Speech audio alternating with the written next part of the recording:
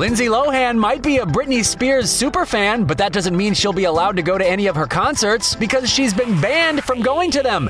Apparently, there's a major grudge between Britney's dad, Jamie, and Lindsay. So much so that In Touch Weekly has reported he won't allow Lindsay into Planet Hollywood to see Brit perform. A source said Jamie always felt Lindsay was a bad influence on Britney. It all started back in 2007 when Britney and Lindsay would frequently go out partying together. The source went on to say Jamie just wants to keep Britney on the right path. And since Lindsay has had her fair share of problems with drugs and alcohol in the past, he doesn't want Britney going back to that.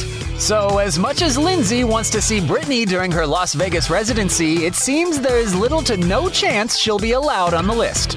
Britney Spears has one protective father.